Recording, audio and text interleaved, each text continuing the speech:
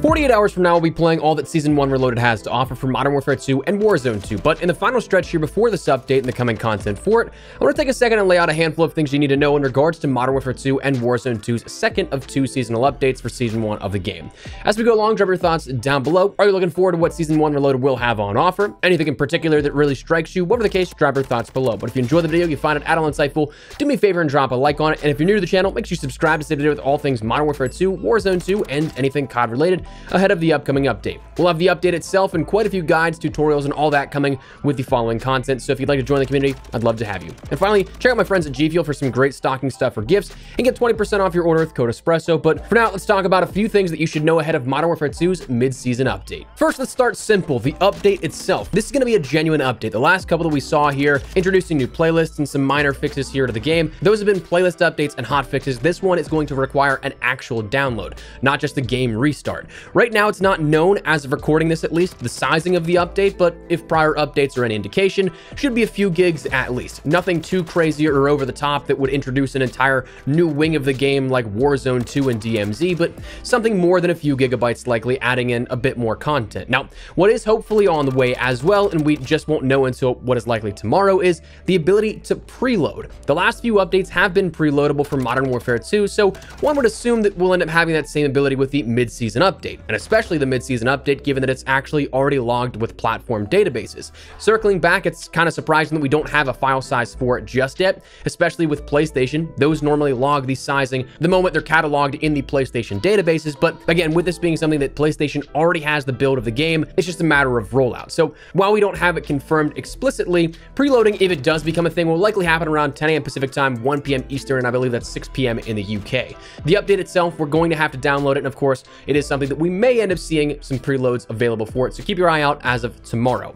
Now, the next big thing that you really want to make sure you do if you want to get the full effect out of this update, the big marquee item here for this, is, of course, is going to be raids. We will see a multiplayer map, two operators, a new weapon, some stuff with Warzone and DMZ, and some balancing and everything that goes along with weaponry and all that kind of stuff as well. But the big thing, of course, that's marketed is raids. This will be coming to Spec Ops, so it's very possible you may not have played Spec Ops all that much since launch. I'm right there with you. I'm going to be doing some last second grinding with it, but with raid keys offering you a week of raid access and replayability to any degree, playing Spec Ops and getting familiar not only with the mechanics and how things work will help out, but also ranking up your Spec Ops kits will end up helping you big time for raids as well. Spec Ops has three main kits, Assault, Medic, and Recon, each having their own tiers for progression, and at certain tiers you can end up getting additional abilities that can help you out in-game. Now, you can do the raids without any of these ranked up, yes, but you'll likely find them significantly harder to do if you don't have these ranked up to any specific tier.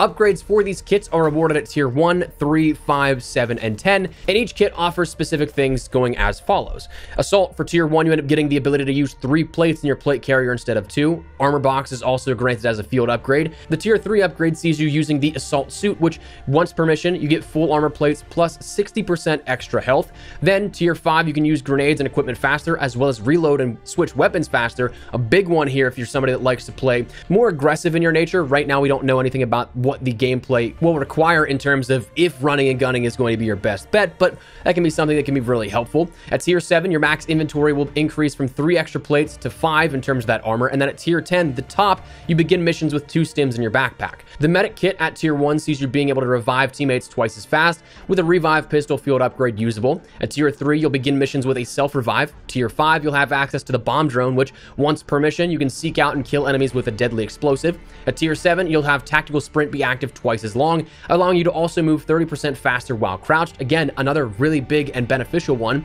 At tier 10, you begin missions with claymores in your backpack and with AT mines in your backpack. And finally, recon at tier 1, you end up having the snapshot field upgrade with the ability to throw and highlight nearby enemies every 60 seconds. At tier 3, you can begin missions with a sentry gun and cluster mine kill streaks. Tier 5, you can recharge lethal and tactical equipment every 60 seconds. At tier 7, you can carry one extra lethal and one extra tactical grenade. And tier 10, you can begin missions with a heartbeat sensor and spotter scope in your backpack. So again, offering a wide range of what you can do in regards to raids and what's upcoming, and likely being that they are a three person, it might be very beneficial to end up having somebody in your party being one of each of those an assault, a medic, and a recon. So you can end up getting all of those usable at your disposal. So again, you can do these raids without these bonuses, but it just becomes exponentially tougher depending on the class you're using. Ranking these up requires stars for completion levels of the Spec Ops missions, so take a few hours and grind out a handful of them so that you at least have some of the more basic levels of each kit leveled up. Again, something that I'll be right there with you. I'm going to be grinding that out here as of tonight, tomorrow, ahead of the Season 1 Reloaded update on Wednesday. Now beyond that, one other thing that you can look forward to and you should know about is the ability to rank up weapons a bit faster here this this upcoming weekend. For those of you guys still ranking up your weapons or perhaps even the Chimera now as a new weapon with the mid-season update, we'll finally be seeing our first double weapon XP event happening this upcoming weekend. Starting at 10 a.m. Pacific time on the 15th, 1 p.m. Eastern, and 6 p.m. in the UK, going until the same time on the 19th, that being Monday, you'll end up having the ability to get double XP per weapon. PlayStation users, thanks to their partnership with Call of Duty, will also get an additional 24 hours on top of that going live as soon as the update itself goes out for mid-season, so plenty of time to take advantage of ranking up your weapons for either attachments or to get that full effect of the camo grind. We've already detailed it a few times here on the channel now as the best methods to do so, and we've also stressed how important double XP is for your weapons. So those methods we discuss will exponentially help with that double XP, and by default, not having to use any tokens, it's a huge benefit, so you want to make sure you take advantage of that. And again, Given that we ended up going almost two months without a double weapon XP event, we don't know when the next one will be. So jump on and take advantage of it if you end up having weapons that need ranked up. Now talking about weapons a little further, one nice thing about the mid-season update is that we of course are going to get another weapon, the Chimera Assault Rifle. Now for those of you guys who know how the camos work within Modern Warfare 2, you only need to end up getting 51 guns platinum to end up having the ability to work on those polyatomic and then mastery camos of Orion as well. So that means that right now we've seen as of this update four additional weapons coming into Modern Warfare 2 in that weapon category, which means if you end up adding four more, you only have to do those 51 weapons total. So you can, as of this mid-season update, entirely skip your launcher category or some combination of, say, launchers, melees, whatever's giving you a particular headache at a time, you can skip that because we have four additional weapons to work with. The Chimera as of mid-season, the M13B, the Victus XMR, and the BAS-P. So use that information accordingly, save yourself some hassle, and then of course, when Season 2 comes along, we'll have presumably three to four more weapons that you can end up doing that as well, that you won't have to do any launchers. You won't have to do any melees and maybe even some pistols or something like that. In addition to those that you'd find annoying, you could end up skipping those altogether.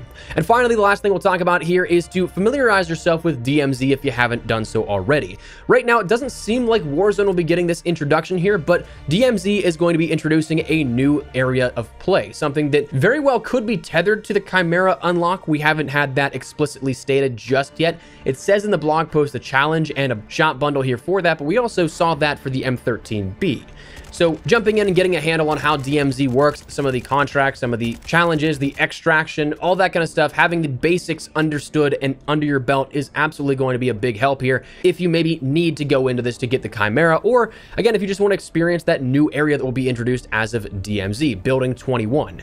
So that said, right now as we're waiting for our final confirmation on some details, perhaps for raids, some things that may be a final trailer or something like that, I want to just take some time today and let you know about a few things that you should look forward to this week and also know to take advantage of ahead of the Season 1 Reloaded update. So that's what we're going to call it. I'd love to get your thoughts and feedback down below. What are you guys looking forward to the most out of Season 1 Reloaded? Anything in particular that you think we should know that maybe wasn't in this list? Whatever the case, drop your thoughts below. But if you enjoyed the video, if you found it at all insightful, do me a favor and drop a like on it. And if you're new to the channel, make sure you subscribe so you don't miss a single thing regarding all things Modern Warfare 2, Warzone 2, and anything COD related. For now, thanks so much for watching. Modest Espresso. I'll see you guys later. Take care and peace.